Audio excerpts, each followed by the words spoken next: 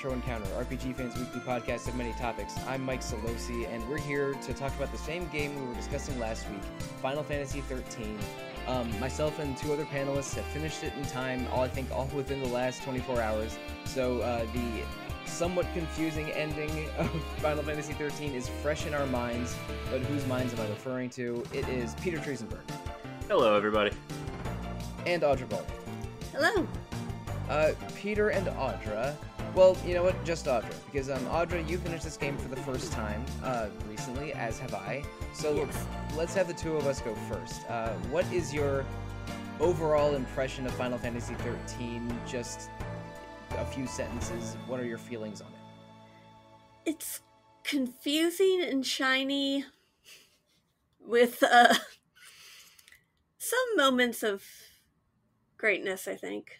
But then it's kind of just brought down. I feel like they tried really hard to make it very um shiny overall, maybe to the detriment of the story presentation.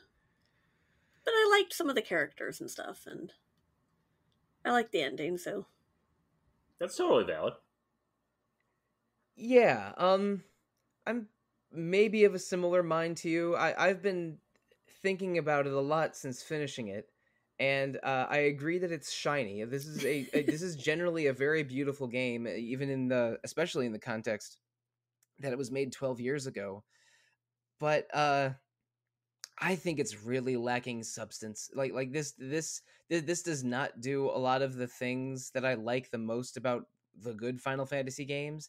And while it's definitely trying and has and I I think it's an ambitious game. This game wanted to be a lot of things, but I'm not sure it succeeds at a lot of them. Like like the the the, the battle system is sometimes sometimes works and sometimes doesn't. The uh I, I thought so many of the characters were were were completely throwaway and are barely present in the story. I, I, I unlike you, Audra, I don't know if I was attached to any of these characters. Like I my I, my favorites consistently through the whole game were Lightning and Fang, but I, I, I think that sometimes the, like dialogue happens and it sounds like total nonsense because you don't really know what any of these characters are are thinking or doing. Every every line of dialogue in this game is either like a quip or a dram- a dramatic um declaration or like a like it, it's it's it, it doesn't seem like any of the dialogue ever is just like normal communication if that makes sense every single character is like has to soliloquize about the human condition before they like proceed with their day Yeah, they're either like way too stone faced about it, again, like my girls Lightning and Fang, or they over emote everything, like like uh, Vanille. li- li- li- like like Vanille and Snow, uh, or, or and and and Sazh has some moments in chapters. I think five and eight are where he shines most, if or it- Mhm. maybe it's 6 and Mhm. eight, uh, I th- or around right around then. But uh, for the rest of the game, he's he's sort of the tired old man, and his a lot of his lines are quips. Like I, I think that this this game has good designs and some r- technically and artistically really beautiful visuals, but it's, just badly written. And uh, and I that's fair. yeah, and and when I I like react to you know story or characters in the game, especially in RPG, like I really think they have to get by on the strength of their writing. And this game, uh, the, the writing is stilted and weird, and there's not a lot of writing either. Like uh, uh, a lot of games of this era will have side conversations or lots of optional dialogue or NPCs to interact with, and Final Fantasy 13 doesn't have a lot of that either.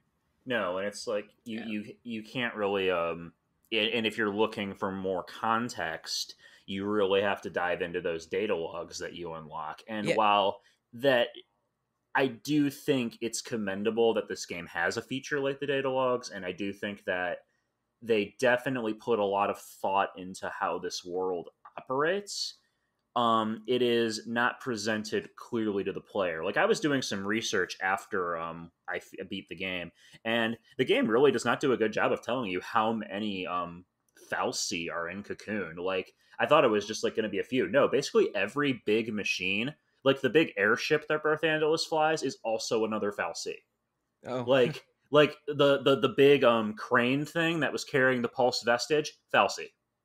Yeah, like like when you meet when you meet the carbuncle fal'Cie in uh it, when you're in um Palumpolum, it basically looks like a, g- you know, an enormous generator.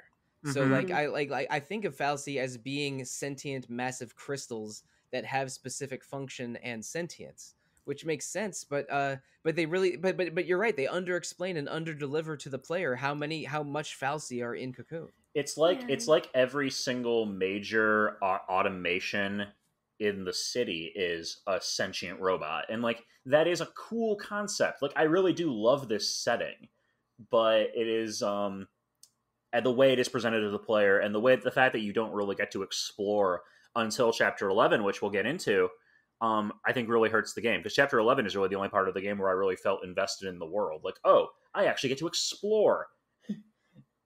uh, more more a couple more things on this game's writing and how they present information to the player this was a little bit a uh, a trend of the times having a lot of information that was not in the text of the story to be backloaded into a codex or what they call it a data log in F- in FF13 um uh, Mass Effect I think is a major culprit of that and I I just recently replayed Mass Effect 1 but uh uh, Peter, uh, you were dancing around a little bit. You, do you know where I think the best writing of this entire game is? Uh, do tell. in the um descriptions of the Cie'th missions in chapter 11. I don't Oh, disagree. yes. the uh we'll, we'll skip ahead a little bit then go circle back to chapter 10 I guess. In chapter 11 is it's the only open world area of the whole game. Peter was alluding to it before. They dump you onto the world of Grand Pulse. It's a giant nonlinear map. You have to go to a couple story exclamation point zones and I think you're required to complete the first 9 or 10 missions. And then, yeah, eventually it, it makes you do a few of them. Yeah. yeah, and, and so there's about 30 of them, and I think you have to do something like 15 or 20 of them to, to find your way out of the starting area and then to go through uh, the the um, the tower dungeon at the end of it. Mhm. But but a lot of it's optional, and every one of these quests is uh, it, like includes a a a, a memoriam from a l'Cie from Pulse from probably hundreds of years ago describing um, what their uh, what their focus was, what their what their quest for being was, and uh, and and how they failed and were turned into crystal. And so by finding their crystal, activating it, you find out what what their task was. If you go and complete that task for them, then you get a reward, and some of those crystals become transfer uh, teleport teleportation waypoints. So it's this game is 13 chapters. 12 of them are well, let's be a little bit generous here. Uh, uh, 10 or 11 of them are linear corridors. Then uh, you have one or two of them that are sort of large single set dungeons that have some non-linearity. And then just one of them, chapter 11, is like three times the size of any other chapter and is uh and has a lot of non-linearity and optional content and hidden and hidden things and optional bosses and it's it's just it almost is like an entirely different game. No, you're absolutely right, Sollosi. And um, there's actually and there's like 60 plus Cie'th missions because you unlock a bunch more in the post game. So the game really does. That's right. The game really does expect you to like go back in there, and there and these are and these aren't just like throwaway quests. There are fully voiced NPCs involved in some of the later ones. Like um, they really this is really where the brunt of the game's content is and if you're going to be engaging with it and per, for my money i think it's the best part of the game. I, that was the only part of the game where i was running around i'm like you know what? I'm getting cool bits of lore. I'm getting to explore this world. The t- i thought the tower dungeon in chapter 11 was like really good. It actually is like a, a proper final fantasy dungeon. It's the I Um, think it's the only proper Final Fantasy dungeon in this entire game. Perhaps. It may- may- may- like maybe the the entirety of chapter thirteen, maybe the arc in chapter ten, but but the that's the one that feels like a dungeon ass dungeon in a good way. Yes, yes, it does, and I I was having a lot of fun with the game in that point. And then once you get back to chapter twelve, and it's just linear corridors and mobs of enemies and cutscene, and then mobs of enemies, and then cutscene, and then boss fight. I was just like, oh yeah, right. This game is boring sometimes. This game is. And, and talking about those cutscenes, uh, we were talking about this off air a little bit before we recorded, but uh, these the game this game has some beautiful cutscenes and some very flashy and dramatic and shiny ones. the Uh, racetrack scene. yeah, there, there- Oh, there's yeah. the racetrack scene at the uh, beginning of chapter 12 and that um and that and some of the ones in the around the oh i guess around the middle of the game like before you separate in chapter 5 so uh, eh, probably chapter like be, in between chapters 3 and 4 i think like Yeah, there are so. there are straight up like um spaceship dogfighting scenes and and like, you know like action movie running away from explosions leaping off of building scenes Uh, like a lot of them are good but this game it, it gave me uh, and i'm sure this comparison has been made a billion times over the intervening 12 years but there's a lot of star wars in this game. Just Oh, yeah. and and Oh, the, but the but the crazy thing is they have all this star wars ass stuff like giant robots and spaceship dogfights and uh and all this action on a racetrack but you don't play any of it. M- m- I- I- my theory is that um th- the outline of this plot was made way in advance which is which you know they should have done of course. And then they made these cutscenes before filling in all of the gaps of gameplay and probably some of these cutscenes were intended to have playable parts but because this game was over budget and had a really tightened de- development cycle at the end like i think that at some point there was a race a racetrack mini game and a space shooter mini game that we never got because this game just was sprinting to its development end cycle Oh, that's interesting. I could see that. uh, uh, like otherwise why have well, like like why have a racetrack at all why have multiple like dogfighter scenes and, and i say dogfighting I, I mean dogfighting as in planes dogfighting and not actual animal yes, cruelty yes, You we, we understand. Yeah. We understand. like like, like Um, like world war ii battle of britain stuff Yeah, but like, and you're, but you're right though. It's like in that racetrack, um, it, the the mo- the beginning parts of chapter twelve are set on this like abandoned racetrack, um, and it's like, wow, this this really seems like there should be more to this than it just being another linear corridor um, for enemy encounters. But um, yeah, and I and I almost I'm almost certain that you're correct um, uh, on that on on your assumption of how they wrote the story and made the cutscenes. It kind of reminds me of the third Pirates of the Caribbean movie in a weird way, where they were very open about the fact that they storyboarded and and and came up with all the action sequences and then wrote the plot as filler. I don't know if I quite go that far because I, I think Square really wanted this world to be compelling and interesting because they have a lot of they have a lot of lore and stuff like that in this game, but you have to like really dig for it. It's not presented to the player well at all. I feel like they spent a lot of time trying to make really shiny, nice looking cutscenes instead of devoting more to story presentation. Yeah, Kinda. no, that's totally valid. yeah I, I, they invested a lot in making the art assets for this game and making beautiful cutscenes but then when it came to you know surrounding like surround them with actual game we got these linear corridors that i found pretty frustrating and we got uh, again no town or npc interaction. For as much as i liked what chapter 11 was about uh, at least when you're there in chapter 11 i don't think there's a single npc like like the closest thing you have to another character is one this one lightning gargoyle that taunts you a few times and the and the friendly statues that help you through the Mhm. tower. Like there's no character interaction It's not until post game, and even then, it's only Titan. Like it's um, it's one of the fal'Cie, and um, it- Titan does have fully voiced dialogue, but it's not like it's it's cutscenes. It's not like you go up to Titan and are like, "Hey, buddy, tell me things." and you, and you aren't exaggerating about how much of an emphasis this game puts on its end game because when I was looking around at guides uh, j- just to casually look up things like I, I don't know like like what upgrade I did I needed to upgrade my uh, my taming pole or something Um, Mhm.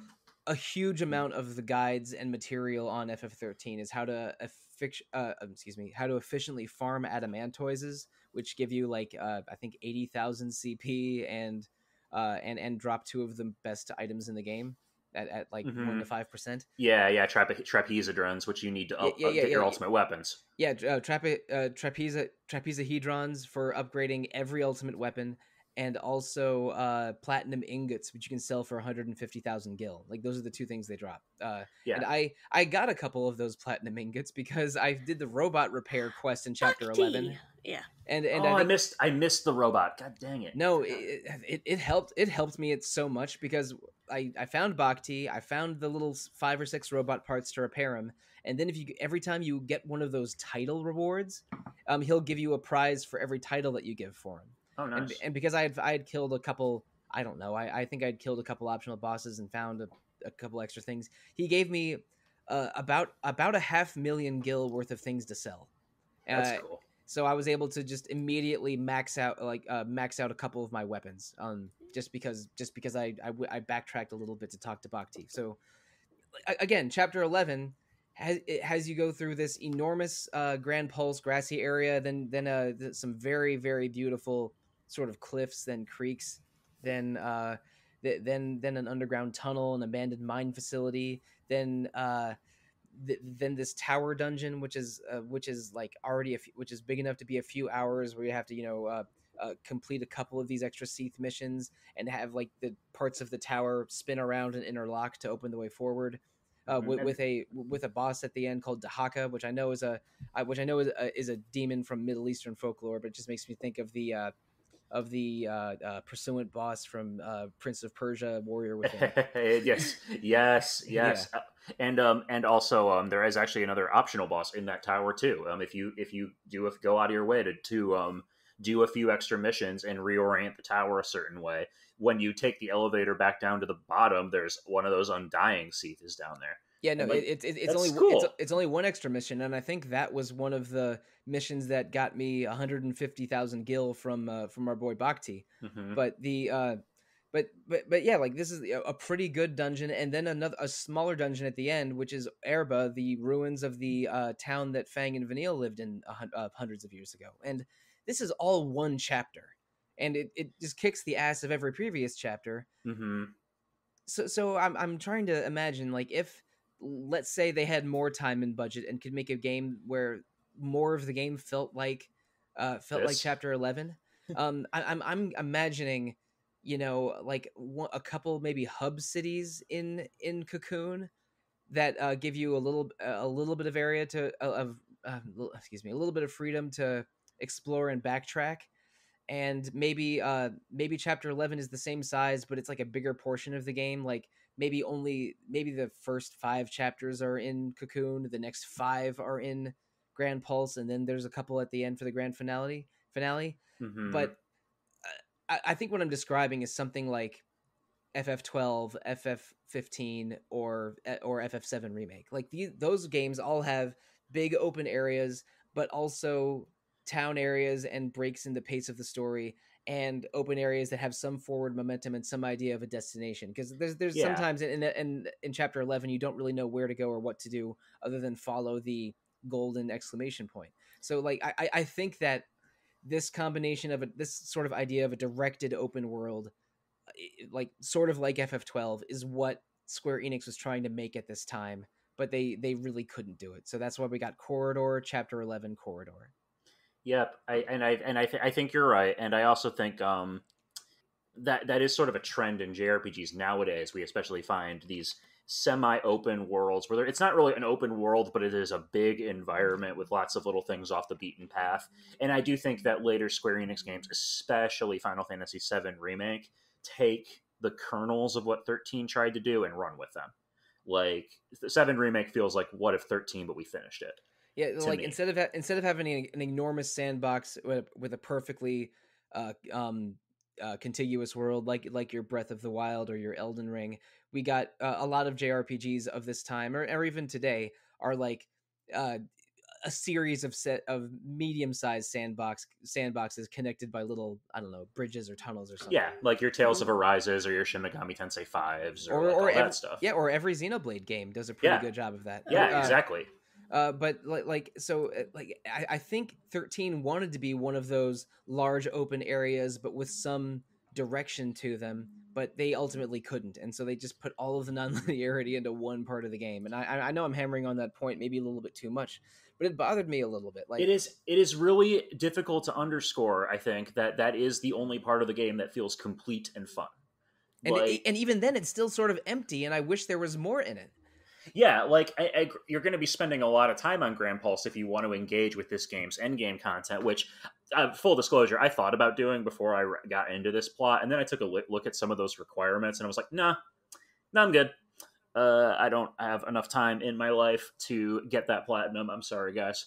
Um, uh, but uh, yeah, uh, yeah. The, the platinum trophy, the uh, the real mofo's on it are um, uh, obtaining every single weapon and accessory. Getting five stars on every Cie'th mission. Yeah, five stars in every single Cie'th mission. I think there's around sixty of them, about thirty in Chapter Eleven, and Which then, in- and, and then they and then they unlock all of them in the post game. which includes Vercingetorix, which is one of the game's two super bosses, and you have to kill a Long Gui, which is the hardest of those turtles. I think Long Gui might just mean like I, I think that it might just mean dragon turtle or something.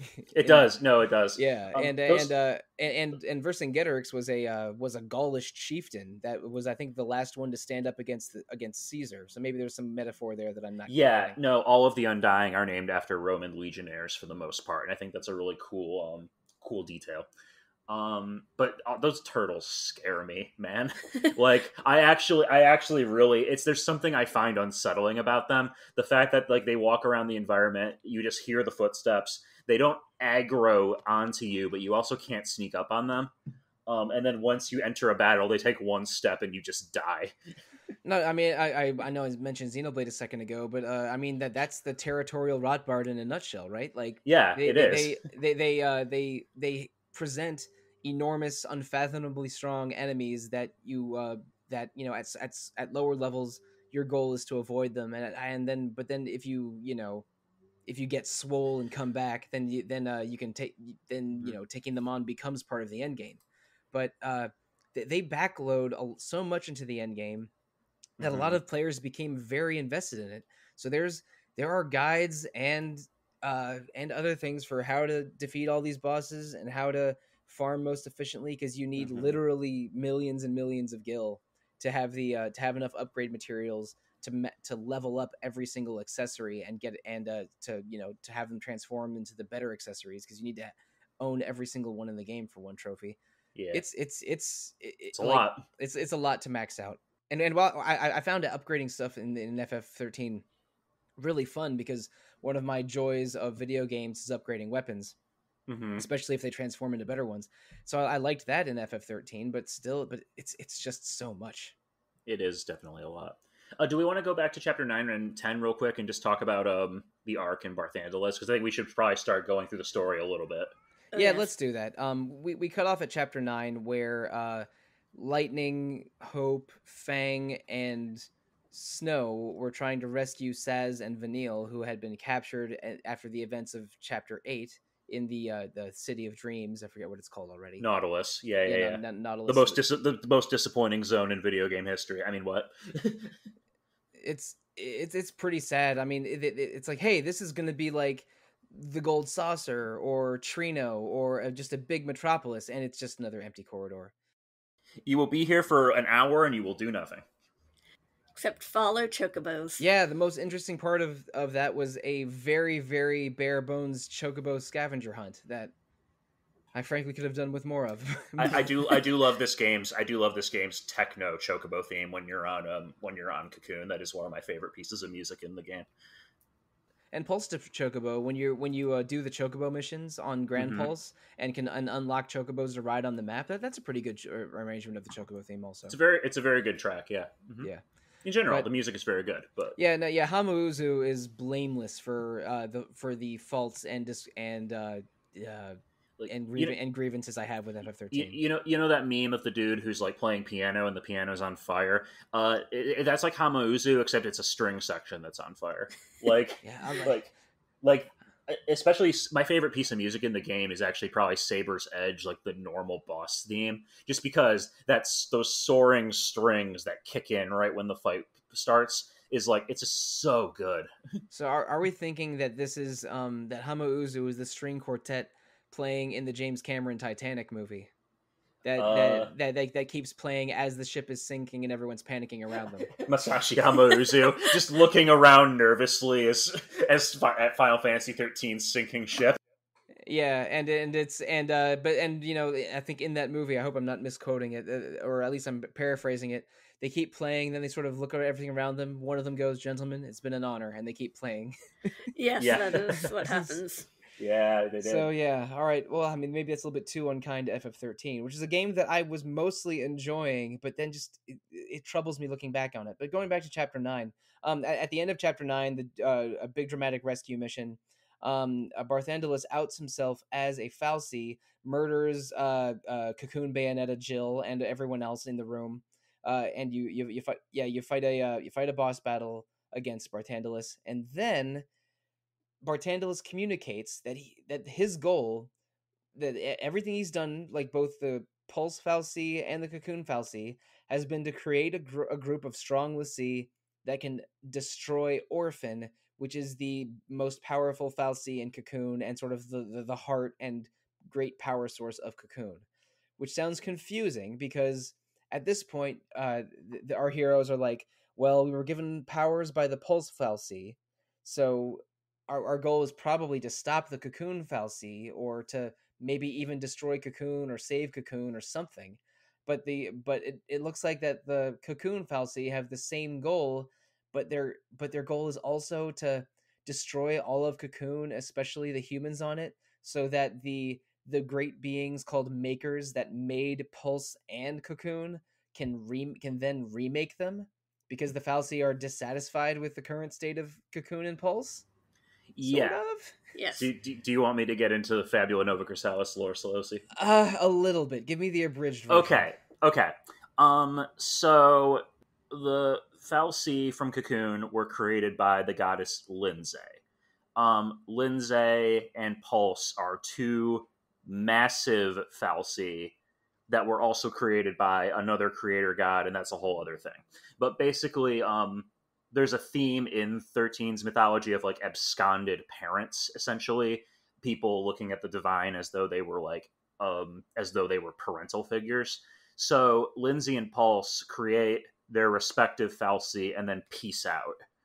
Um, there's a third goddess named Etro, who's like the goddess of death, and the ultimate goal of the fal'Cie is to open Etro's gate because they believe that by opening Etro's gate, they will be able to peer into the other side and see their maker again.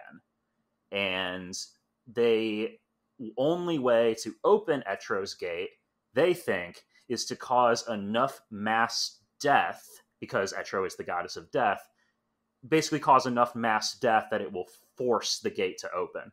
So their plan is to raise a whole bunch of people inside Cocoon and get a, a, a, a to destroy it and send it out of the sky because the pulse the fal'Cie can't do it themselves. They were made to maintain Cocoon. Their their their nature as benefactors and like it does not allow them to actually intervene and destroy the city themselves. So it's like the laws of robotics. Yes, it is exactly um, um, Asimov's three laws of robotics. But the loophole that they were able, they discovered is that well, we can't do it, and we can't make l'Cie. A cocoon l'Cie could not do this. But if we get some pulse l'Cie and we manipulate them into doing it for us, then that will accomplish our goal basically it, Barthandelus is playing four dimensional chess over here. now, um, a, a, a, couple a couple reactions to that. I, I I gathered some of that from the story. Like Barthandelus makes it clear that all of the humans are a sacrifice to draw the attention of the maker. Like uh, the, the I, I didn't know anything about Lindzei or Etro, but they did basically tell you, or at least mostly explain to you, that if enough people die at once and Cocoon's destroyed, that will at least you know get the attention of the maker so the maker can return and and i yeah. think that uh, and i also sort of gleaned uh, before we recorded today that the uh the final boss or that that that final fal'Cie that you fight is called orphan because it was a child of the maker and then the maker abandoned its creation and yes. so and and mm-hmm. so that that creation which is maybe all of the fal'Cie but orphan in particular is is is almost like longing or seeking attention of their departed maker. So like I I, I was like and uh um uh, Audrey, you and I played a game last month where there is a let's avoiding some spoilers from Tales of for Tales of Xillia, there is a god that creates a very powerful spirit, but then with when the spirit doesn't hear any feedback from the god over decades, uh becomes like becomes uh becomes lost and and fi- and uh and goes a little crazy for for uh for out of a lack ah. out of a lack of direction and purpose. You know you know what i mean right? Yeah so there's so like abandonment issues are, I suppose, some core tenets of FF13 and is, Tales and a, Tales of Xillia. This is a theme that J- Japanese games industry was apparently going through in the 2010s. And, yeah, huh? and, and, both those games were were made around the same time. I think I think Xillia was supposed to be 2010, but got delayed a year because it, yeah. it, ended it ended up missing the 15 year anniversary of Tales of that way.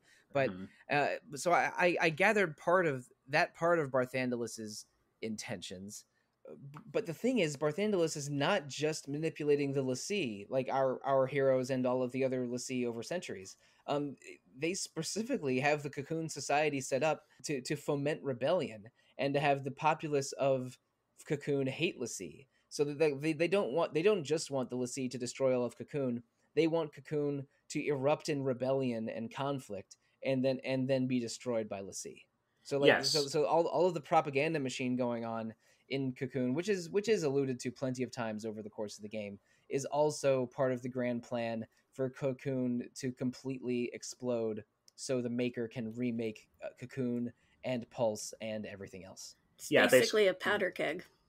Yeah, no, it's definitely a powder keg, and Barthandelus has made sure that he has backup plans in case the l'Cie don't come through for him. Like he, like he's basically taunting them in chapter eleven. He's basically taunting them, like, "Okay, look, if you guys don't come back and take care of this yourselves, like they're just gonna do it. They're just gonna do it. So you know, why don't you, why don't you intervene?" and and, also maybe I'm wrong about this, but I think that uh, you you fight Barthandelus at the end of chapter nine. Um, y- you win, but he's a little bit he's a little bit disappointed. He's like, "Hmm, is that all you have?" Like kind of a classic, you know, uh, Yeah. JRPG villain thing. God, I- So so You while haven't you're seen my true power. yeah, it's like this isn't even my final form.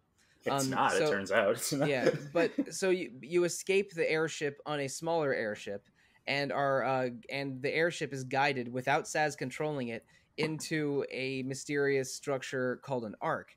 And uh, Vanille and Fang are familiar with what arcs are, and they were used as like training facilities for l'Cie and were built by fal'Cie. So, am I am I misinterpreting, or you did uh, Barthandelus find you a little wanting? teleported you to a training facility and then all of chapter 10 is breaking out of the training facility just eh, eh, which is also part of barthandelus's plan for you to get stronger Yes, no, you're not. You're not entirely wrong. He basically sent you to school. Uh, so he, he so chapter 10 is a training montage in which you are c- cooperating with the villain to get yourself stronger Yeah, so like chapter chapter and, and then he also's got like a bunch of the, the the arcs are also another one of his backup plans where he's like he's got a bunch of like pulse monsters stored in there like in break glass in case of um in case of emergency. i'm pretty i'm pretty sure that when the uh that when uh, monsters start attacking uh cocoon and eden through all of chapter 12 that's where those monsters came from That is where they came Yeah. from, which means he's got an adamantoise in one of those things somewhere, and that's really funny to me. I don't know why. Um, but um, yeah, chapter ten, chapter ten, and then um, can I? I, I want to inter, I want to interrupt just for a second because I want to talk about this. I, I will keep this brief, but there's actually dummied out content in Final Fantasy 13 for a second arc you would have I'm gone not, to. I'm not surprised. I mean, yeah yeah it's uh, so and, and the thing is it was cut late in development. The area is called the seventh arc.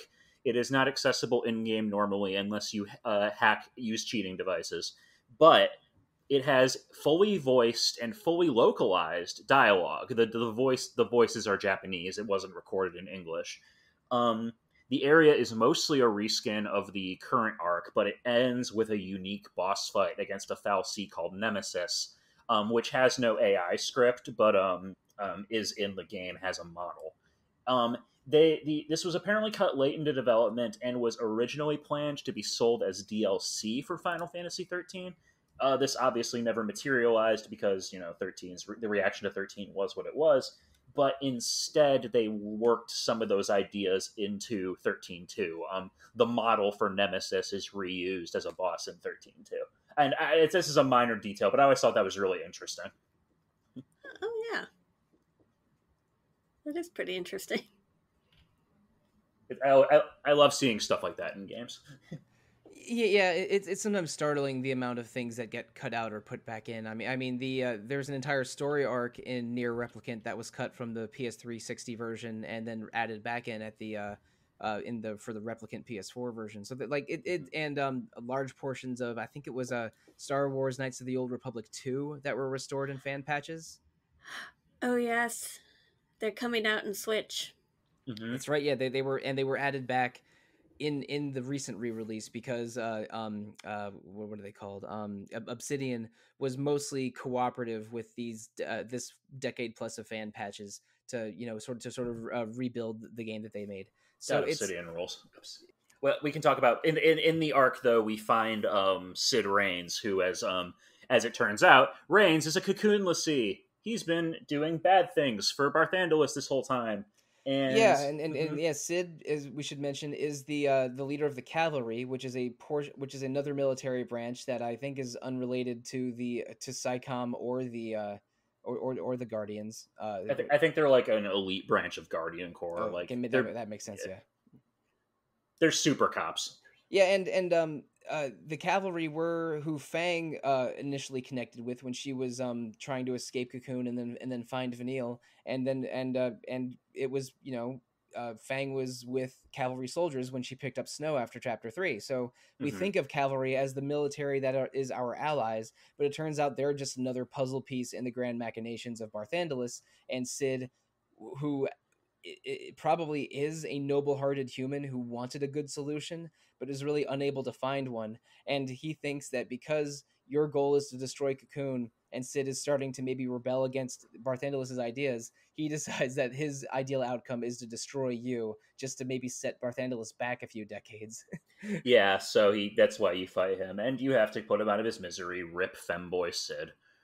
and there's also a, um in chapter 12 they uh, uh barthandelus creates a fake cid to be the new primarch of cocoon Oh, it's not a And, uh, fake. It's it's not a fake. oh, I'm sorry. is, is, oh, is the real one he um yeah so the, the fal'Cie can basically once someone turns to crystal from fulfilling their focus they can uncrystallize them at any time and give them a new focus it's Oh, basically it's basically perpetual servitude Um, Yeah, so okay, that, so- that oh, is so- the real cid. But it, but it was still yeah I mean but it was the real Cid but it was a it was definitely a depressed enslaved Cid in, Yeah. in chapter 12 but yeah that, yeah that's he a, had that's- given up. He had given up. Yeah that's a little bit of a sad scene too because it's cavalry soldiers that confront Cid during the Eden raid that is most of chapter 12 and uh and I mean they they shoot Cid in cold blood. It's it's it's a bummer. And he asked them to do it. Like yeah Mhm. it is it is really really the cid in this game is really kind of a sad character he does have a pimpin' coat though He does have a nice coat. he has he has a nice he has nice hair and a nice coat which you could also say of uh of Peter's favorite character Rosch Oh my god. Yaag Rosch. He Yeah. died as he lived, accomplishing absolutely nothing. Yeah, Jihl, Rosch, and Cid could be good NPCs or villains because I mean, all, all three of them are basically villains that are at least not 100% evil to the core villains. Yeah, they're Like, villains with human motivation. They, they could have been interesting, but they are so barely present. I didn't feel attached to any of them. I, Yeah, I, like- I like, like, and, and I think of classic Final Fantasy villains that that always have a presence and are some of the best villains in RPG history. Like they, mm-hmm. but like I, I- I think Final Fantasy is a series with a lot of great JRPG villains, but this ain't it. Like, like, like I mean, the, the, The, the best, owl. yeah, Barth- Minerva. yeah, B- B- Barthandelus's owl that he uh that he like Power Rangers transforms in uh with to for to make a super Orpha mech like orphan mech. It, n- nah. I I did I I thought all of the villains in this game were in, underwhelming. The best villain of Final Fantasy 13 are those damn transforming behemoths. Oh god, those things are so yeah. annoying. Those things- you, you you either you either if you're lucky enough to get a preemptive strike, you can you can stagger them quickly and then just make just keep them in air juggling them until they die. Yeah, but if you they need- transform before that, they fully heal and they you become need really yeah, hard. you need to haste yourself and keep them in the air so they can't land enough to to transform into their bipedal form because otherwise Yeah. they're still beatable, but they're a giant. But they completely heal, uh, heal to full, lose all their debuffs, and you have to and are and deal way more damage and are just a giant pain in the ass. So They really are. the behemoths Um, in this game, I'm I I was avoiding them a lot by the end. Not not because I couldn't beat them, but because I just didn't want to deal with them. Because the fight's Yeah. going to take like five minutes. Mhm. Um, and that, that was the thing about chapter 13. Oh, this is getting a little bit ahead of ourselves a bit, but I, I'm just going to jump in with combat discussion. I think um, the combat in this game is a very good proof of concept as far as a faster paced active time battle goes. I think the paradigm shift system is kind of a neat idea. I like being able to change roles on the fly. I like, okay, so like the enemy's charging up for a big attack, switch to sentinels. Uh, you need to heal, switch to medic. You need to do to build up a chain gauge, ravagers. And um, the main thing is that you get animation locked the first time you paradigm shift. Every single time, it does not matter. And when you're in that animation lock, enemies can still do damage to you. You they can still launch you. They can still like all this other stuff. So if unless you're in the exact right paradigm, you're there's a chance that the enemies will all target one of your characters and you'll just be screwed. Yeah, especially if it's the leader. game operates on Persona 3 logic, where if the main character you're controlling dies, it is game over because you don't have a you can't take control of another party member. They fixed this in 13.2. Um, uh, But yeah, but yeah, the, the paradigm switch system is is what drives a lot of the combat variety in this game because I mean th there's only six jobs and they each have a defined role and that's cool and the setting up different combinations of them and rapidly switching between them for the, for situations like you described Peter is is some of the fun of combat in FF13 but I I still by the end I was sort of handling every fight the same way unless and and uh unless certain circumstances would make me maybe adjust my parameters but i eventually i settled on um two sets of paradigms one if i was doing lightning fang vanille and one if i was doing lightning fang hope that my final party was Lightning Fang Hope. Um, uh, because so I could sen- I could Sentinel and two medics if I needed to, and then the re- the the rest of it were um, uh, Commando, Commando, Saboteur, Synergist, followed by Ravager, Saboteur, Ravager, followed I- by Commando, Ravager, Ravager.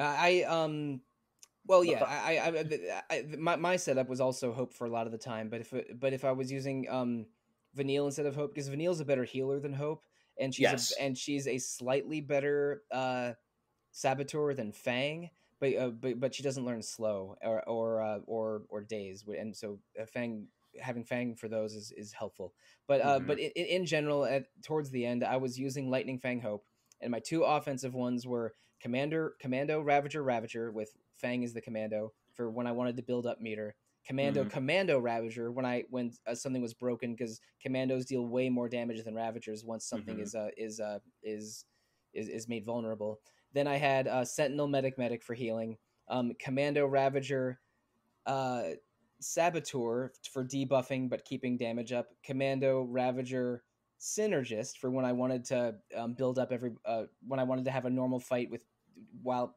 building enemy meter but also buffing myself. And if i just had to reset and spread around buffs and debu- debu- debuffs i had i had medic synergist uh, saboteur. Audra, what was your setup? If you Mine was um Vanille, Sazh, and Fang. And Ooh. pretty much I used most like Ravager, Ravager, Commando, and I did I found um Medic, Commando, Commando once I staggered something was really helpful, especially if I needed a quick heal. mm-hmm. Oh, that and is that is Sentinel, one. Synergist, and Medic was great, and I loved using a double Saboteur with Ravager just to keep chaining, but Also, be get all the debuffs. Yeah. Yeah, Mhm. like like buffing and debuffing is very strong in this game. So It I think that uh so and the and I was using um Lightning Fang Vanille for a lot, but I really really missed having a good synergist. So I uh, and and Hope is also the best Ravager and uh, and probably tied with Sazh for the best synergist because I mean I mean Sazh has haste, Hope has the defensive ones, but then taste. yeah, but but then they Mhm. but then they both eventually learn each other's skills later in the Yeah, game. So I, so so by the end when Hope had uh had haste, it's like all right, I guess you're you're the on the team now. Yeah, I was able to. Um, I, was- I'm, I'm, I'm, I'm gonna. I'm bragging a little bit. I've already bragged to you guys, but I was able to five star the final boss um, with um, with hopes. Um, hope putting haste on the whole party, then having Fang keep debuffing it while the other two went Ravager, and then finally, just once it got staggered, just going to town with Commando Ravager Ravager. Because Ravager will keep building the chain gauge while your commando's doing damage. So if you can get that chain gauge up to 999, all of a sudden your commando's every attack is doing like 20, 30k damage. And it's like this it's very satisfying once the combat Yes. clicks. I had I had commando hits going up into 50 to 60k just because like I had a maxed out taming I had a maxed out uh Venus Gospel and uh and a maxed out Lionheart.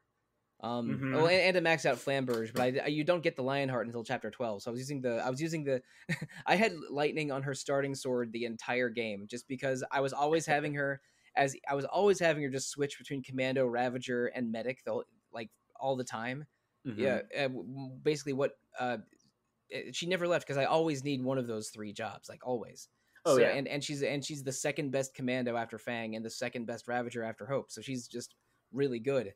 Um, and uh, so like giving her her keep having her keep her starting weapon, uh, which is you know high magic or like above average magic and above average uh, above average physical was great. And uh, so other than you know I had her use the Gladius or whatever in the first two chapters before we have jobs. But then I, but then it was the Blazefire saber and the Flamberge until I got the Lionheart and maxed out the Lionheart. Mhm. I love that the starting weapons are viable if you upgrade them. Yeah, hmm maybe not for every character, but uh, but but Lightning's I, I felt like it was it's her second or third best weapon. But the, the Lionheart having really great stats and also randomly uh um automatically staggering enemies if they're Oh at, man, if, if they're at above I think it's above ninety percent or above eighty percent.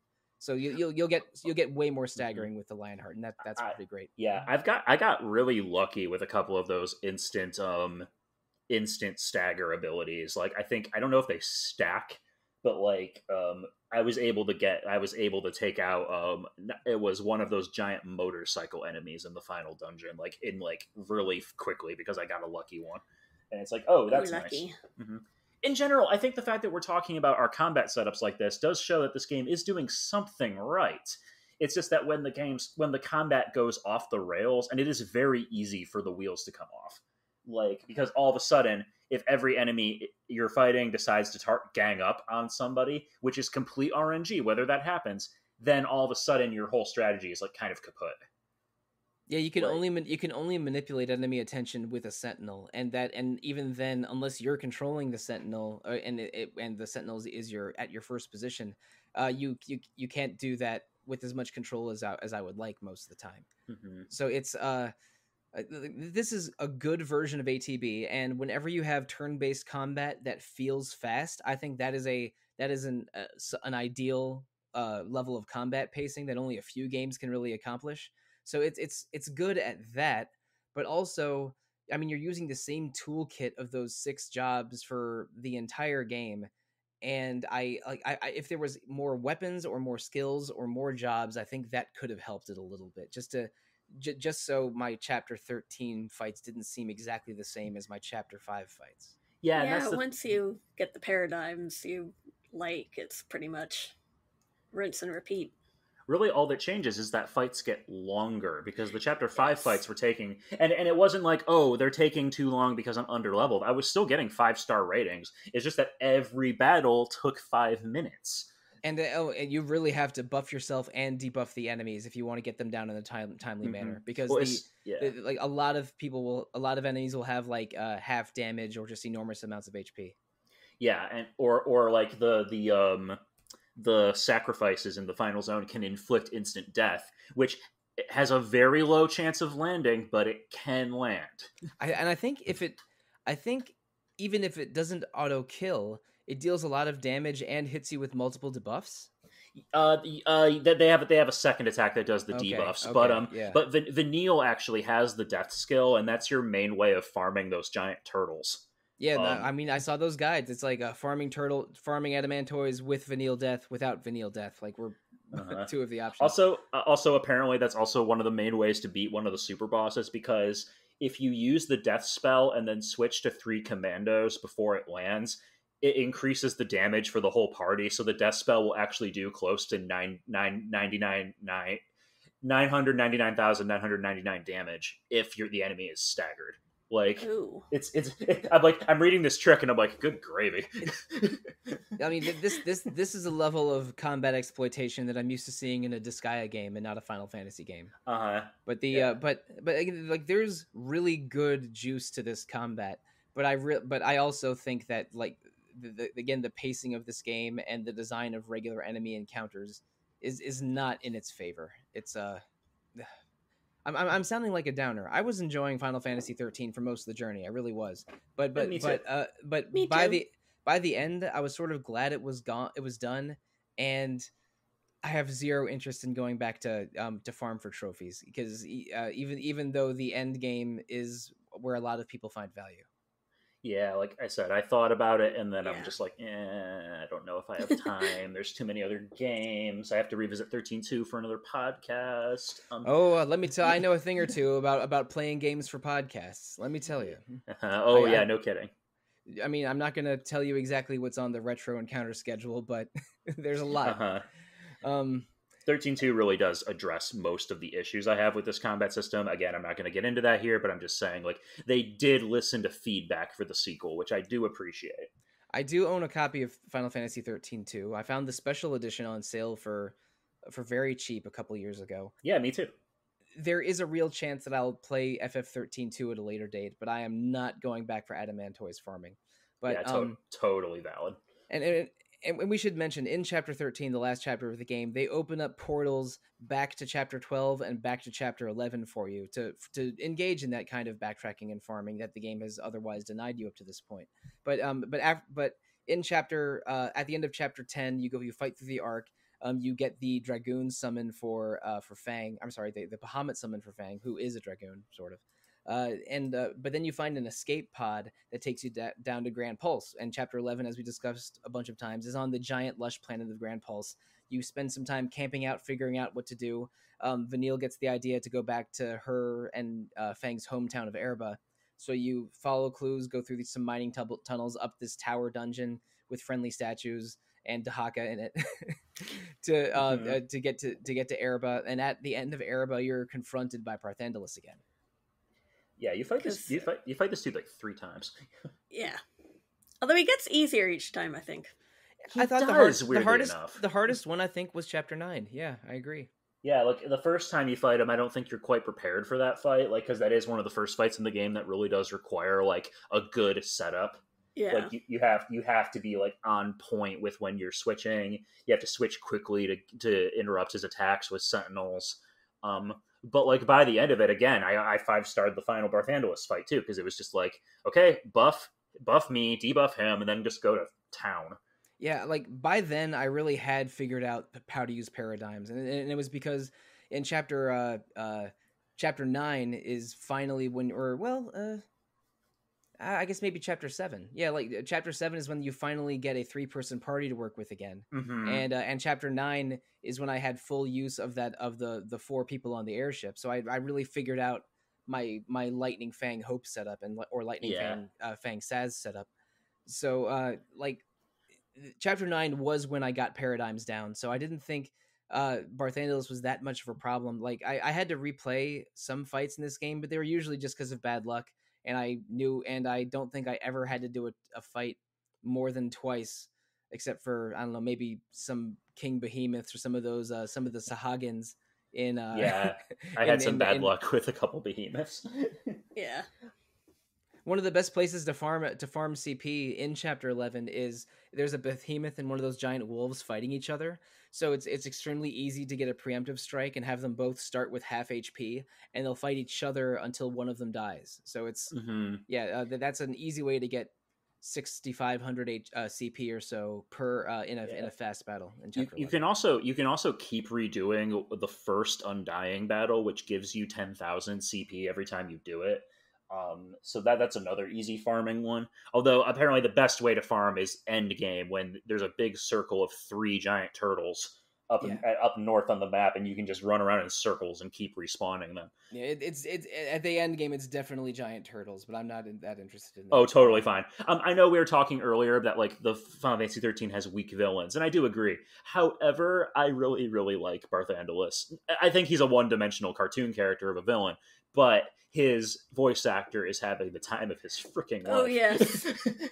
The evil pope. yeah, the evil pope. This dude is just, hmm, yes, let's see. like this, he's like he is like this guy looks like he's like barely containing a maniacal chuckle with every line of dialogue, and then he turns into this giant, creepy robot death mask thing, and his music is all like, and it's like, wow, okay, I'm- I'm this just guy saying, if extra. I'm just saying, if it's 2010 and I want to kill the evil pope, I'll just play Assassin's Creed 2 because the final boss of that game is an evil pope. Yeah, you can just you can just fist fight the Pope. and that and that game has a much more satisfying open world design than, than Final Fantasy 13 does. I'll take your word for it because I made it like five minutes into Assassin's Creed 2, but that's a whole Uh, other can of worms. God, Assassin's Creed is somehow like 25 games now. I I play I played three of them, only finished one of them, and decided decided that my Assassin's Creed career was over. But no, but people like still that play the- them though. I like that the Egypt one is canon to Final Fantasy 15, which Oh te- yes, which forgot te- about that. which technically makes it part of Fabula Nova Crystallis. I um I mean I the, again the one that I know the best is Assassin's Creed 2, and that's the one that's canon to Soul Calibur 5. So yeah. Jeez. Assassin's Uh, Assassin's Creed finds itself all over the place. No- no- Noctis is very fond of the Assassin's Creed series. Thanks, Ignis. Ezio Auditore wins. Uh, but, Uh, God, video uh, games. yeah, video games are weird. probably not going to have an Assassin's Creed episode of the podcast unless 20, 2023 gets real weird. Which I mean, we you know, I'm not cover Assassin's. Creed now. We've been covering it Yeah, since um, Origins. Yeah, Assassin's Creed Oranges is how it's pronounced. Assassin's Creed Orange, Oranges and Odyssey are both RPG as hell. So, and I know that Kate, Oh, uh, and Valhalla. yeah, Valhalla too. Val- Valhalla, I've heard the extra content in that game gets so insane that like the completionist score on how long to beat is something like 200 hours. Um, Ooh. but they uh but yeah the, um that series has gone to a more rpg turn recently so uh maybe it's time for me to try one again because i Maybe. I again i i thought one was kind of bad two was kind of great and uh uh revelations was not that impressive um which was i think the third. That's assassin's creed 2-3 in, in uh, they got better. From what I've heard, they got better when they stopped pumping them out every year, which is true of most that's things. probably true yeah mhm. Hey, Game Freak, take notes. Anyway. Mm, I should, you know what? I I think I, if anything, I should try, go back and play Assassin's Creed Four because that's the one where you collect pirate shanties, and that's appealing to me. you know what? Pir- yeah, honestly, live your best pirate life. Yeah, I, I living my best pirate life doesn't sound so bad. But okay, okay, well maybe let's talk about FF13 some more. But Okay, um, so uh, not, uh, where? FF13, uh, not enough pirates, not enough, uh, not enough non-linear areas, and Zero- an end game that is confusing as hell. So, um, chapter Uh, 13. Yeah. You, you, you, you uh, chapter 12 is just fighting through Eden and giving Rosch his final just desserts in a uh, an updated version of the Proud Clod um, uh, FF7 boss. Yep, and he gets like a super dramatic death scene um, where he like sets off a grenade on himself Oh, while yeah. being swarmed by behemoths, and I'm just sitting there like, "Bye, buddy." this is my choice as a human. Yeah. I had like- literally forgotten his name until you meet him again in chapter 12. it's, it's honestly same. It's like, oh, it's this guy, right? oh, right, him. Oh, Peter said he was in a magazine. Yeah, like I, I swear to God, he was meant to be a more important character in some early draft of this story. I know. I I think I think that's true of Jihl, Rosch, and Cid. I think they were both supposed to. All three were supposed to have bigger roles, and then they didn't. Yeah, so so it goes. What a waste of a good character design. But uh, chapter 12 is a nonlinear corridor again. Uh, you're fighting through Eden, which is being attacked by monsters released by Barthandelus. So the populace of, of Cocoon thinks that um, Pulse has gone to war with uh, with uh, with Cocoon again, and aren't aware that there aren't really any people on Pulse anymore. Um, Yeah, But- no, no one knows like what's going on down there. They're just kept in the dark. hmm Yeah, uh, so you, you fight through all of all of it. And chapter thirteen is you uh, um y- at the big cathedral or whatever at the center of Eden has a you know unlocks a portal to Orphan's Cradle, which is the area where Orphan, the giant, powerful uh, fal'Cie behind the curtain, is is resting. You fight through these. You fight some motorcycles and some uh, giant like space marine looking Cie'th called sacrifices. Hmm Yeah, Uh, was oh, so we should probably mention too. All of the surviving cavalry people, including Rygdea, that like super, that like long-haired dude who shows up in a couple cutscenes. The Winter yeah, all, right, Soldier yeah. guy. yeah, the Winter Soldier guy. Yeah, exactly. He looks like Bucky Barnes. Um, but they they all turn into Cie'th like instantly, despite not being l'Cie. Yeah, I didn't get that part. Or Orphan and Barthandelus might be powerful enough to instantly lascive them and then instantly Cie'th them. Right, I, I guess they can do that if their if their if their focus is to become a Cie'th, maybe. Well, I don't I don't know. I don't know how this works. The game doesn't bother explaining it, and I'm not going to try and suss it, It was out. plot. it was the plot Because of needed to happen because Yep. plot. Yeah, exactly. and you're, you're guided by uh, some some eff- some fal'Cie effigies through there, which I which I, I guess are also controlled by Barthandelus. Because again, Barthandelus is rolling out a red red carpet for you now that you've gotten uh, big and strong on Pulse, and when you confront him at the end, uh, first you d- defeat Barthandelus a third time because that's just what Barthandelus does. He challenges you and loses, and then he fuses with Orphan uh, to become a new consciousness of sorts. You defeat that version of the combined Barthandelus Orphan, and then you get some cutscenes that I still don't 100% understand what was happening in. Uh, Fang takes it upon herself to transform into Ragnarok again because hundreds of years ago that's what happened. She transformed into Ragnarok and uh, and created a lot of damage on uh, on Cocoon. The two worlds were separated, and then her, she and Fa- and Vanille were turned into Crystal. So she tries to transform into Ragnarok again. Uh, she attacks Orphan without killing him. Vanille talks her back from the edge, so to speak. Uh, it looks like Lightning, Snow, Hope, and Sazh are turned into Cie'th and attack Fang, but I think that might have been an illusion by Barthandelus, just to just to make Fang more and more upset and drive her into rage. Yeah. So uh, here's the thing, because like that is that makes the most sense in the context of what is happening in just Final Fantasy 13 because they get into fal'Cie smoke and mirrors early on before the fight. Mhm. Barthandelus like sh- sh- sh- makes a big show of shattering Serah and Dajh's crystals, and it's like obviously this is an illusion. He's just trying to rile you up. We know this is what this guy does. However, Oh, brother. I'm not. I I will keep. I will try to keep this brief. But basically, thirteen two and the broader Fabula Nova Crystallis lore basically implies that Etro is the one who's like intervening on everyone's behalf. So if they literally turned into Cie'th, then they don't become Cie'th anymore because Etro intervened. We do see that their brands are burned off, like um like Fangs were after they come back, and at the end in the final cutscene they don't have their brands anymore. Um, and and Etro was also responsible for stopping Ragnarok the first time and turning Vanille and Fang into Crystal. That was the reason that they didn't destroy Cocoon outright was because Etro was like, "Nah, hold on." Um, so again, we're getting into literal divine intervention and the themes of this story being these long departed, capricious gods that sometimes deign to intervene in human behavior because they like us or whatever. And and uh, and Lindsay Lohan and Etro encounter are not mentioned at all in the text of the game. Lindzei is mentioned by name once in chapter 11. But um and and if you read the Analects, it does. They're all written from Pulse perspective, so they all are like, oh yes, Lindzei, the creator of that nest of vipers, cocoon, and a glorious grand pulse. Which um actually, I want to get into this a second too. Um, the remember the cutscene where they first turn into l'Cie in the beginning, that big CGI cutscene with the ringing bells and all that crap. Yeah, Um, after the Mhm. Anima boss fight. Yeah, so that creature that brands them is supposed to be Pulse. That is the that is the maker of the Pulse fal'Cie. Um, that they see in that vision. Um, I don't I, I don't know really know what this adds to the story, but I thought it was interesting. but yeah, basically basically the game does a very bad job of explaining how its mythology interacts with the whole world. But the whole idea of this story was to create a mythology that would inform other stories and kind of exist in the background. But if you're not familiar with that already, and audiences in 2010 definitely were not familiar with it already, then it's going to be a completely confusing non sequitur. And yeah, I I Yeah. bega- I only had the vaguest idea of the motivations of Fang in this scene. Be, uh, like like I think she just was was she was full of rage and hurt, and she just wanted uh, she decided to do the same thing that she did hundreds of years ago. Um, but uh, but ultimately that's what Barthandelus wanted all along. So she sort of pulled back from the edge, and uh, and your six characters together defeat defeat the final form of Orphan. And once you do that, but then right as they do that, as Orphan's dying and Pulse is about to crash into uh I'm sorry, Cocoon is about to crash into Pulse and destroy everything.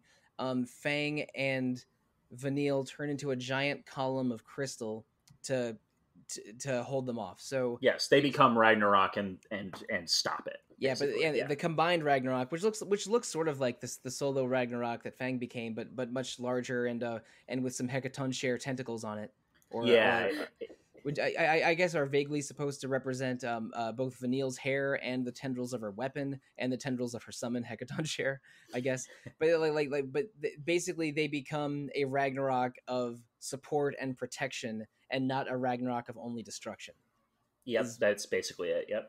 And uh, so n- now the final scene of FF13 is on the surface of Grand Pulse, a giant crystal wave and column holding off Cocoon so that both worlds are destroyed. Um, oh no, sorry, both worlds survive, but Barthandelus is sort of destroyed or at least imprisoned in crystal, and uh, and and uh, and the Maker will not return to unmake and remake the world like Barthandelus was hoping. So it's a it's it's a somewhat optimistic ending, and and also you get um you get two uh beautiful um running through the fields and into a hug scenes with with Dajh and uh, Serah both um both in full human form uh like ready to meet your party again. So it's it's a little bittersweet because Fang and Vanille, who are your you know beloved party members, who were the the maybe the last two humans of nat- naturally born humans of Pulse, uh that uh but but they like the home that they knew is is, is destroyed. They were strangers in a strange land on Cocoon, but them ultimately making a final sacrifice to uh Save to, to- Cocoon. to, to save, Save the, Cocoon. the people of Cocoon. Like I actually think their their ending is really beautiful, and I especially like how they're like holding hands and Crystal like in there. Like yeah, again, it, it is beautiful, but also I all- mean, don't, don't they undo all of that in the next one? yeah. So the the less said about the sequel's plots, the better. Because I, I I've seen all of the main characters in materials related to Lightning Returns, is what I should say.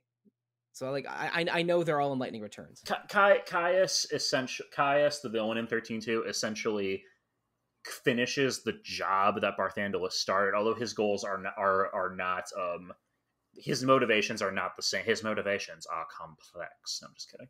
No zero time dilemma references on this podcast, Peter. Bad. Um, uh, but basically, yes. Um, eventually, Cocoon does come. The, the crystal pillar is broken. Cocoon does start crashing down into the ground. Fang and Vanille are um, back and human again in Lightning Returns. It's kind of a whole mess, and I sort of prefer to can keep thirteen as its own ending, and then the other two as a sort of side story because they really don't work as a unit. I don't think. All right, Um, let, let, us definitely save thirteen two and others for another podcast. But uh, Yes, but I- but, but uh, uh, Audra, uh, Audra, uh, what was your reaction and feelings about the game's ending? I actually I liked that it was more optimistic and hopeful to say a pun on Hope's name, I guess. but um I thought the Fang and Vanille part was touching and I liked the whole idea of the people of Cocoon actually setting foot on P- Grand Pulse for the first time and like the bringing of the two worlds together. And I just Yeah. liked the reunions. I thought it was sweet. It's definitely a theme they were going for, for sure. Yeah, it is a very sweet scene. Yeah, it's a beautiful ending scene. Uh, It, all of the cutscenes in this game are gorgeous, but I again, I really felt like they were like they were finished before the the design of the game was finished. And uh, so, and and thinking back on it, like if more of the game was like Chapter Eleven, and the plot was a little bit better explained, and there was and the ed settings were just less empty, this could be a great Final Fantasy game. But my overall feeling is a little wishy-washy. Like this game has good parts, but is ultimately a little disappointing. I, I uh, Yeah, I think that's fair. it's it's nowhere. I, I've played I've played basically every major Final Fantasy game other than 15 and and 11, and I don't I don't think 13 rates in the top half for me, not even close. But it's but it was, but it is definitely important for this era of Square Enix, and it was a lot of what they were doing at the time, and uh, it, it informs their design philosophies leading up to 13 and after 13 because again we've talked multiple times on how we can see parts of like uh, uh peter the first half of ff15 a game that i know you love uh, it's a little bit grand pulse pulse at times isn't yeah, for, for, uh, 15 is basically reverse 13 in that they were really trying to get away from the linear corridors. They wanted to make this game a big open world, and this was this was actually a design ethos from Versus 13. They wanted thir- Versus 13 to mirror 13. and and but then but then um seven remake is uh it does have the more focused design and is sometimes a little bit corridory like 13 but sort of like fixes some of the mistakes of 13's nonlinear Seven design. Seven remake is much better about hiding it because you can go back to old areas. There are NPCs to talk to. There are side quests, and it does in general. The world feels like it has more texture, even though ultimately, like yes, it is more linear corridors. But at the same time, these are dense corridors full of things to do and things to look at, and it's not just a big sterile hallway populated by a few groups of mobs. And then they uh they again they fixed all the problems of 13, but still brought back Hamauzu because bringing back Hamauzu was not was not a mistake at all. Ham- Hamauzu is the MVP of the of the 13 trilogy, and he is also uh, just a magnificent composer in general. Yeah. Uh. So, yeah, that's my feelings. Like, I, I didn't, I don't think, I, I did not hate this game, did, but I found it uh, sometimes really fun, sometimes confusing, sometimes disappointing. Uh.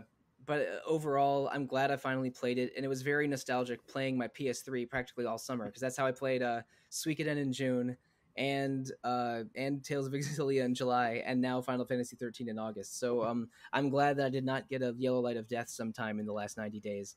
Yeah, uh, right. and yeah and uh and you know it was a little bit nost- and i i sort of missed the uh ps3 ui because i think the ps5 ui is a little lacking i, I sort of wish both of them were ps4 I miss themes. I'm, I, I like customizing my your consoles and uh, PS PS3 themes and PS4 themes were lots of fun. So now I have a lightning one. i had a uh shadow of the colossus theme i use a lot and a ratchet and clank tools of destruction theme i use a lot on the Ah, ps3 classics. I lost my Korra play theme at some point at, during this playthrough. I don't know what happened. But, Well, that's um, unfortunate. Yeah. But yeah, Lucy, I'm really glad you you played this game too, because I, I, I I am glad I revisited it because I don't think I don't think this game deserves the hate it gets. I think that it is a very flawed game that tries to do a lot of things and doesn't always succeed. Yeah, this is an ambitious game that took some big swings, but some of them were misses, and you can tell that they were really plagued by a difficult development cycle. And the, Mhm. and as as well and as a result, the game feels a little unfinished. Yeah, like I, I don't think that it's. I I don't think even the parts where you're in corridors is, are horrible, but they just No. it just they just seem incomplete. And It is the most polished, unfinished game I've ever played. yeah, That's and- a good way to describe it. yeah, it's very polished, but but somewhat unfinished. Whereas 15 is like massive in scale, but also buggy as heck. And you, the gaps where 15 is missing content are much more obvious. Like both of those games suffered from long, troubled developments. And I think we can take away from Fabula Nova Crystallis. It ended in failure. They definitely have tried to distance itself themselves from it in recent years. And I think that Square is on a much better track than they were in 2010. Um, but at the same time, I really enjoyed going back and seeing what they were trying to do back then. I think so. I really liked playing this again and actually finishing it this time. Yeah, I, I again, I'm glad I finally played it, and I'm glad that I know a little bit more about this chapter of Square Enix's history. Because ever since I was a little kid, my two favorite developers were Capcom and Square Enix. So it's uh, Mhm. it, like it, there was a little bit of a gap in my Square Enix uh, resume at, uh, that I've finally filled in. Uh, but I mean, FF13 is a somewhat unfinished game, but I think it is a little bit uh, around the time to finish this podcast. Um, thank you so much, Audra and Peter, for joining me on this episode uh, and and me finally playing Final Fantasy 13 for the first time. Like, uh, are people uh, people that complain about semantics were like, but that game's not retro. Why do you call yourselves Retro Encounter? It's 2010. It's 12 12 years ago. It's 12 years old, guys. We're we are we are playing a sixth or seventh grader, which sounds awful now that I've said it out loud. yeah, let's Um, not let's yeah, not okay, say right, that. yeah, but all right, all right, all right, uh, uh, well, uh, so we finished playing a 12 year old game, and uh, uh, next we are going back into playing a oh how does my math check out? A 28 year old game because I, I've mentioned this in previous episodes but in september we are playing Live A Live the 1994 square classic that was recently remade for the switch. Uh, i'm pretty sure everyone on the uh, podcast is going to be playing the switch version including me but that's another bit of Square or Square Enix lore that I am happy to cross off because that's that's another one that I've tried a couple times but never played.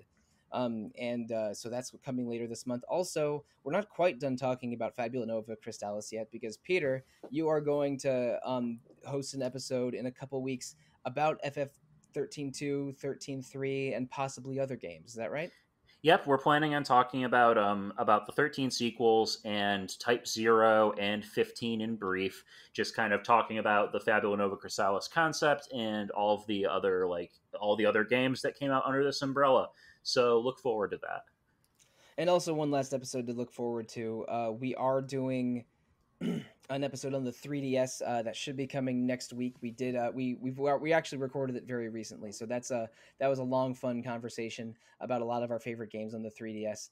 Uh, so please look forward to 3DS episode, more FF13, and Live A Live in September. And you know, I, I, I think it is early enough to say this. Um, in October, we are playing a bunch of adventure games month. We're uh, having a uh, we're going to have a, um, several adventure games played that month, starting with Secret of Monkey Island and then continuing through the Decades of Adventures um, uh, playing four different adventure games from four different developers, but from some shared staff, starting with Secret of Monkey Island. So please look forward to a bunch of adventure games coming in October. But listeners, if you have questions for us about Final Fantasy 13 or the 3DS or Live A Live or adventure games, the best way to reach out to us is to email retro at rpgfan.com. You can also comment on our message boards, visit our Facebook page, uh, visit rpgfancom on Twitter, check our Discord, our YouTube, our Instagram, uh, some, something streaming almost every evening, uh, North America time on Twitch uh, please interact with RPG Fan however you choose. Also, somewhat recently, we opened up an RPG Fan store.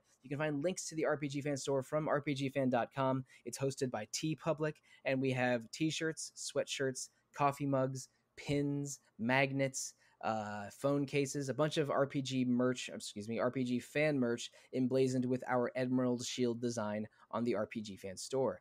But uh, Retro Encounter is not the only uh, podcast on RPG Fan. There's also Random Encounter every two weeks about randomness, every uh, and Rhythm Encounter every other two weeks about RPG music. Please rate and review Retro Encounter, Random Encounter, and Rhythm Encounter on Apple Podcasts, Google Play, Spotify, or however you listen to podcasts. Um, I was looking at the stats recently, and uh, Spotify outstrips all other venues for listening to retro by a large margin. So maybe I should say Spotify first from now on. But uh, however you choose, that's how to, I listen to it. Yeah, however, however you choose to listen to Retro Encounter, we appreciate you always. Um, but how do you, if you want to appreciate us directly, how can you find us directly? Let's tell you, starting with Peter. Uh, as always, if you want to reach out to me, you can find me on Twitter at I Have Fury. You can also email me, Peter T at rpgfan.com. Now, Audra. Audra B at rpgfan.com. And listeners, I'm easiest to find on Twitter. I am at the Real Monsoon most of the time, at Evoca for Dogs other times, and on RPG Fans Discord, I am Monsoon Mike. So yeah, I have a. I, I just finished this big long corridor RPG, and now I can split that off into a uh, into a anthology RPG. I, I, don't I don't think there's any long corridors in Live A Live, are there? I, I've never played it. Well, well, you know what? Ooh. I don't know. I don't know. Hmm something to discover. It's going to be a big shift going from Final Fantasy 13 to Live A Live, but I am looking forward to uh, to meeting a whole new cast for a whole new month of Retro Encounter. Uh, listeners, thank you, good night, and goodbye.